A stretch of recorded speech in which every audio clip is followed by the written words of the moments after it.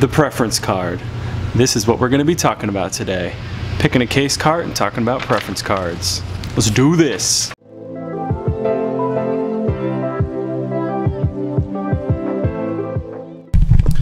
Welcome back to another Surgical Tech Tips. Today we are going to be picking a case cart in the sterile supply room. Uh, I want to go do a little brief overview again of the preference card itself. We'll do a little walkthrough uh, through the sterile supply room and we're going to be picking a case card as well.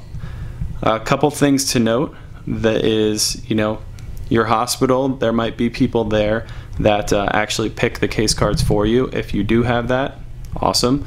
That helps a lot and saves a lot of time. But if you don't, uh, usually either you have to go in in the morning and print out your preference cards for your cases for the day and pick your own case cards, in which case this video is for you. Or two, uh, all those preference cards are printed out the night before and you'll just come into the sterile supply room, find out, find your preference cards, get your case cards ready and uh, get through your day. So let's get through this. Let's pick a cart. All right, so first thing I want to go over, just a brief little overview over the preference card itself. Up top on the preference card, you're going to have patient name, the surgeon doing the surgery, and the surgery itself. Moving down, you have gloves.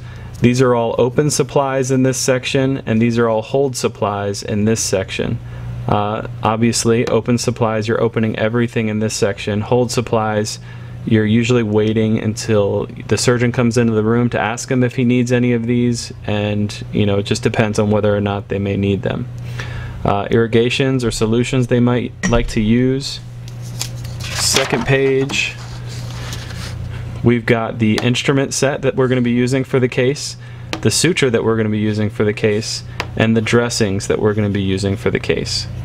Uh, all these separate little boxes here are kind of places where you can put notes on the preference card, um, positioning notes for the nurse, uh, what type of medication they may like to use for like a local anesthetic, uh, how they may like to prep the patient, and any equipment that they might need in the OR and, and settings for that equipment as well in, in any of these boxes. And then just general comments as well. Uh, a lot of surgical techs will put extra comments in the comments section as well as to maybe how they like to drape and uh, stuff like that.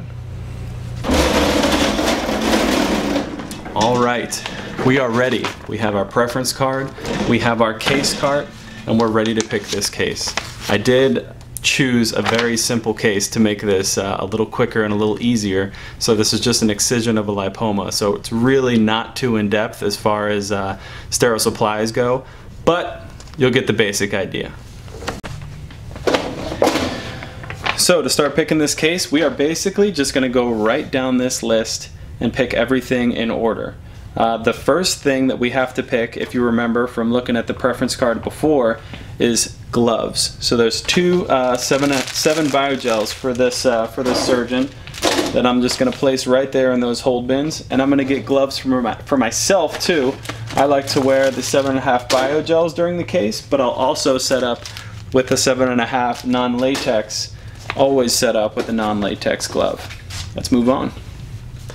Next on down the list, we have two items that are the nurse is going to use during this case, and that is the ChloraPrep, which is the prep solution uh, for the patient, and the Bovi-Pad that they will be putting on on that thigh. So let's grab a ChloraPrep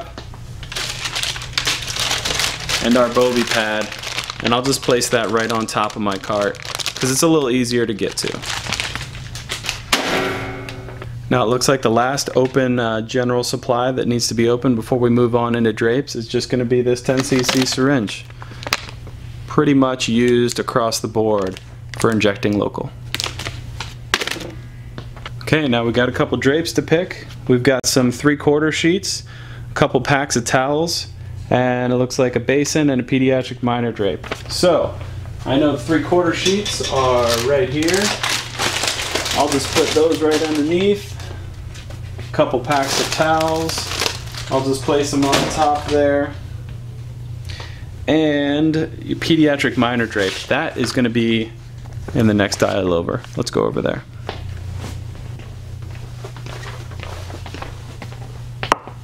There it is. Nailed it. Now you're probably wondering right now, why isn't there any gowns? Why isn't there a bovie on there? There's no suction tubing, there's no suction tip. Where is all that stuff coming from? And it's actually coming from this double basin on the preference card. This double basin on the preference card is this is uh, this is like a giant custom pack. Well, not a giant custom pack. This is our like general minor custom pack. It comes with plastic basins in it, comes with its own bovie and tip, comes with suction tubing, suction tip. It's got blades already in it, two 10 blades and a 15 blade. Uh, it's got towels, it's got gowns, it's got all that stuff all packed in to this little package here with the table drape all included. Makes it much, much easier. There's one last supply for open. I forgot about it. And it's your hypo. You need that to go with your control syringe. Let me go grab that.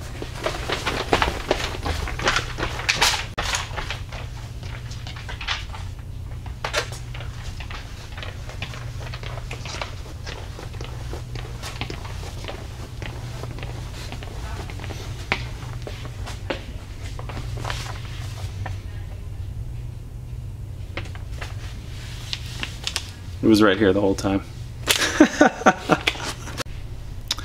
now I want to take a second to talk about that because I went over to where the the needles actually used to be. Our hypos used to be down there, but they did change this a few weeks ago or a, like a couple months ago, and I'm still not used to it, obviously, because I went back to the same place it was.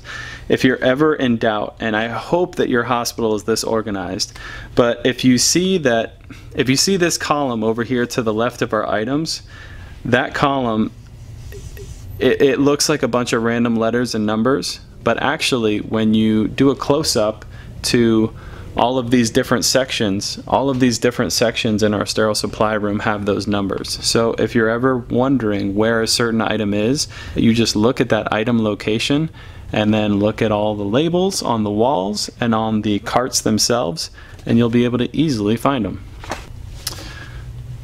Now instead of picking the rest of these hold supplies and moving this cart around the whole sterile supply room, as you can see some of these little halls are pretty narrow, like narrow enough to only fit one cart at a time.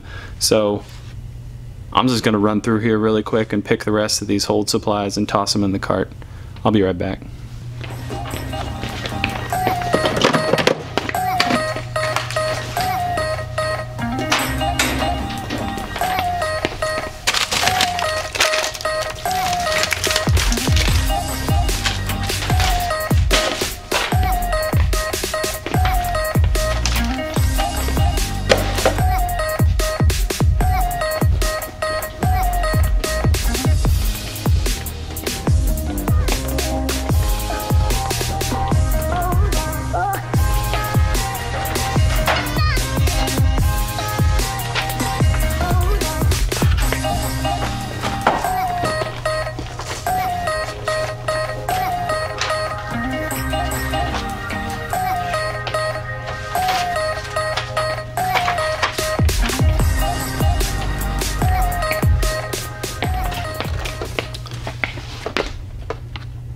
That's it for hold items.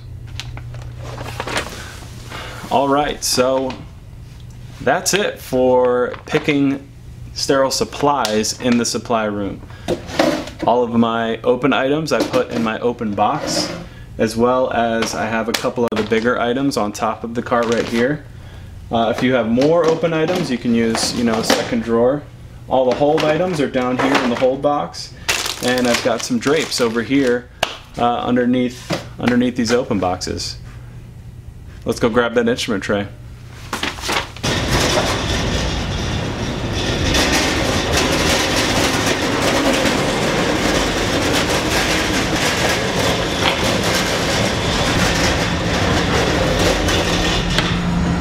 All right, we're at the instrument room.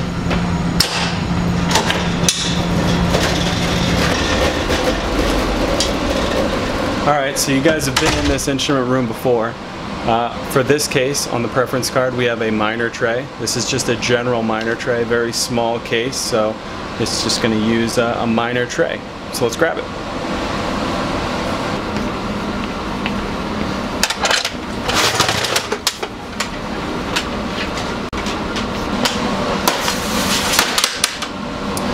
Alright, let's move on to the suture room. And we're back in the suture room. You guys have been in here a couple of times. And for this case is very simple. All it is, is we are picking zero vicryl tie, 18 inch. We're picking a 3.0 vicryl SH for subcutaneous, and that is your deep layer closure, and a 4.0 monocryl PS2, and that's going to be your subcuticular or your skin stitch for closure as well. That's pretty much it for picking this cart. But while we're in here, let's talk about a couple other tips that I want to share with you guys that, that could help you with, uh, with picking carts and picking multiple carts uh, throughout the day. Now, if you have, say, like four or five case carts that you have to pull for your day, you have a big lineup. Um, you can pick them all kind of at the same time if you know what you're going to need, and you can kind of pick them all at the same time. Uh, you could do that. You don't necessarily have to go specifically down the list for each single individual card. When you're first starting out, you might have to do that, but after you gain a little experience and you kind of know what the surgery and what the surgeon is going to need, it's much easier to just kind of pull everything in groups when you know you're going to need it for multiple cases. Uh, uh, on on a side note for that, uh, picking extra stuff for certain cases is is always something that I do.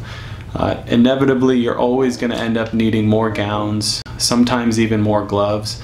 So if I have a lineup with a surgeon for the whole day, I'll pick a few extra gowns, I'll pick a few extra gloves for both of us, and I'll just keep them in the room just on the side and I won't open them up and those will just be for hold items so the nurse doesn't have to jump out of the room and go grab things. And also on a case-by-case basis, you may end up grabbing extra things, maybe laps, stuff, different types of sutures. That's definitely a biggie. You'll always end up picking up more suture than what's on the preference card. Your just in case suture. You know they've used it before in certain circumstances so you'll pick it just in case and just have it on hold so the nurse doesn't have to jump out of the room. That's that's that's an important skill to have as you gain experience is to make sure that you try and keep that OR nurse in the OR as much as possible. All right, guys, I think that's it for this uh, case cart pick video extravaganza. Tell me what you think about it. I hope you liked the video. If you did, let me know in the comments. And as always, thank you so much for the subscribers, new and old, coming into the channel. Always love having more people in here and, and you know, growing this channel and helping it grow. So thank you so much, guys. I'll see you again.